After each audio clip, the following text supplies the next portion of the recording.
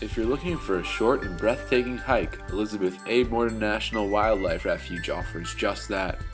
The Wildlife Refuge, established in 1954, is a 187 acre peninsula in Noyack that juts off into the Little Peconic Bays. The trail at Morton Wildlife is a well kept, handicap accessible, easy one and a half mile double track trail. The peninsula is host to a diverse system of habitats that include upland forest, freshwater pond, grasslands, a beach, and a lagoon.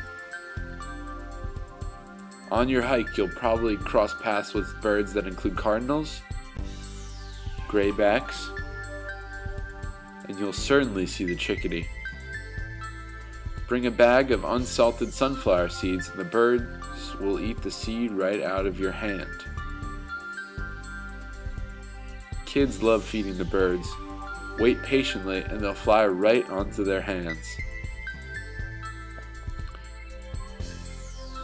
As friendly as the wild turkeys might seem, do not feed them. They will follow you. So enjoy your walk, and remember if you brought it in, take it out or find a trash can.